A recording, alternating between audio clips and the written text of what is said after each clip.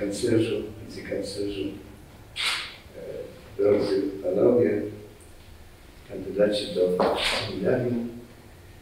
Jak widzieliście przed chwilą, rozmawiałem z świętym rektorem, rozmawialiśmy o wielu ważnych sprawach związanych z życiem seminaryjnym i szerzej. Z sytuacją także w jakiejś mierze Kościoła w Polsce, ale w szczególności gdy chodzi o pewien model tego roku propedeutycznego, dodajmy, że y, y, ten rok propedeutyczny jest, powstał. Na życzenie Stolicy Apostolskiej. E, Stamtąd płynęły pierwsze bardzo takie ważne sygnały i zalecenia, żeby taki rok powstał, a potem no, odpowiednio także były i dyskusje i postanowienia konferencji Episkopatu Polski, także my wpisujemy się e, w ten wielki proces bardzo ważny przygotowywania młodych ludzi, których Pan wzywa do kapłaństwa, żeby e, ich posługa kapłańska była godna tego wielkiego powołania i wybrania przez Chrystusa. Rozmawialiśmy z świętym rektorem y, i w tym roku będzie pewna modyfikacja y, tego roku propedeutycznego, to znaczy zacznie się tak jak dotychczas było w Sębrzycach, ale tam będzie trwała tylko miesiąc od listopada. E, Wszyscy z roku propedeutycznego stają się w laku seminarium e, na Podsamczu. Z tym jednakże, że e, będą takie stworzone warunki zewnętrzne najpierw, żeby stworzyć e, możliwości i wewnętrznego scalenia się i spełnienia tych oczekiwań, które e, zgodnie z instrukcjami Stolicy Apostolskiej stoją przed rokiem propedeutycznym. Dlatego moja prośba, żeby księża nadal pełnili swoją rolę powiedzianą e, wobec e, roku propedeutycznego, a dokładnie wobec tych e, osób, które w tym roku propedeutycznym e, są, które w ramach tego roku się kształtują, formuły. Więc o to bardzo bym prosił. I oczywiście będzie się to wiązało także z odpowiednimi modyfikacjami w samym seminarium, ale także gdy chodzi o pewne modyfikacje, gdy chodzi o program, e, myślę tutaj o pewnym dostosowaniu się do warunków nie Zembrzyc, bardzo szczególnych, ale do Krakowa, które też są szczególne.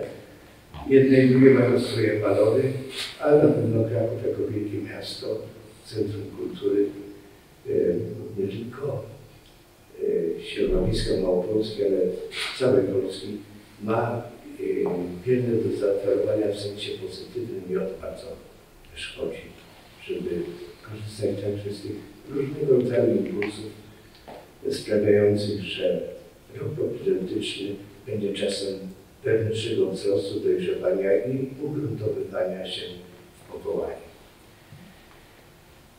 To tyle, gdy chodzi o takie założenia i konieczne modyfikacje, które będą miały miejsce w tym roku akademickim 2023-2024. E, Zaczynamy, zaczynacie panowie ten rok właśnie dzisiaj, pierwszym dniem e, jesieni 2023 roku, no pogoda jesienna, ale wiem, że za chwilę, za chwilę, za kilka e, dni będzie znowu słońce, przynajmniej tak to się prognozuje i mam nadzieję, że także słońce Boże będzie nad Wami cały czas dawało siły i radość, poczucie, że jesteście na właściwej drodze. I temu będzie sprzyjała praca, wysiłek, a na pewno też serce e, przełożonych seminarium z świętym rektorem, jego najbliższymi współpracownikami, zwłaszcza e, księżmi, którzy bezpośrednio są odpowiedzialni propedeutyczny. Życzę Wam, moi drodzy, aby ten czas był bardzo dla Was udany pod względem otwarcia się na Pana Boga na drugiego człowieka między Wami nawzajem, żebyście tworzyli dobry zespół młodych ludzi, którym naprawdę zależy na Kościele, e, którym zależy na dobru Kościoła i jego rozwoju. Nie zapominajcie o słowach Pana Jezusa, że e, ci wierni uczniowie mają być solą dla tego świata i światłem dla tego świata. I niewątpliwie szczególną rolę e, takiego posłannictwa wobec świata tworzy każde, przynajmniej powinno tworzyć każde wyższe seminarium duchowe. I stąd pewna radość, e, że dajecie temu światu szczególny smak, szczególną barwę, szczególną światłość. Bardzo to potrzebne w sytuacji, kiedy jest tyle zagrożeń, niepewności spowodowanych przez wojnę, ale także jeszcze bardziej pewno przez zachwianie świata wartości.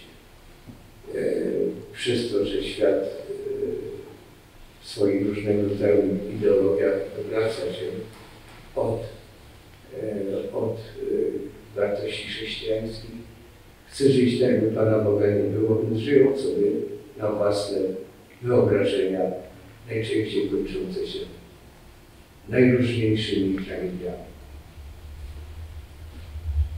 Kościół powołany przez Chrystusa jest nie tylko znakiem sprzeciwu dla zła, ale jest przede wszystkim znakiem nadziei, że można żyć inaczej, lepiej, a przede wszystkim sensownie. I właśnie takiego dojrzewania do takiej wizji siebie, świata Kościoła moi drodzy, z całego serca życzę. A księdzu rektorowi, najbliższym pracownikom życzę także wielu Bożych łask i mocy, tym bardziej, że już niedługo będziemy przeżywali 45. rocznicę wyboru e, kardynała Karola Wojtyły, wyszedł z tego domu. E, przecież, ale był też przez jakiś czas alunem, czasami wojny mieszkających, mieszkających w tych pomieszczeniach, Pani nie wiem gdzie, być może także i tutaj, w, tym, w tej auli, w tym pomieszczeniu. Będzie 45-lecie jego wyboru na papierze, na następcę świętego Piotra i ciągle e, pozostaje to przesłanie, które nam zostawił, e, inaugurując swój pontyfikat 22 października 78 roku, żeby się przede wszystkim nie bać, nie bać się czego? Otwierania drzwi dla Chrystusa. Swoich, powiem, drzwi własnych serc, ale całych też systemów politycznych, ekonomicznych, społecznych, kulturowych. Mówił to w tamtych czasach, gdy świat był podzielony na żelazną kurtynę, na świat, jak to też mówili, świat wolności, a świat komuny, zniewolenia. On domagał się właśnie otwarcia dla, e, drzwi dla Chrystusa, żeby człowiek mógł żyć pełnią swojego człowieczeństwa. Żyjemy w nowych kontekstach, nowych wyzwaniach, także nowych zagrożeniach, ale wyzwanie pozostało ciągle to samo, bardzo aktualne. Otwierać siebie na Chrystusa, otwierać poprzez siebie, poprzez otwarcie na Bożą łaskę. Świat dla Chrystusa, po to, żeby ten świat był bardziej człowieczy, bardziej ludzki. To nasze zadanie, głęboko jednocześnie i wynikające z wiary, ale także głęboko humanistyczne. Więc szczęść Boże, moi drodzy, na te dobre dni naszego życia, one były dla Was pełne radości satysfakcji, a przede wszystkim poczucia wewnętrznego pokoju, że ten, który Was powołuje, prowadzi Was i wzywa coraz bardziej wyraźnie do siebie. Szczęść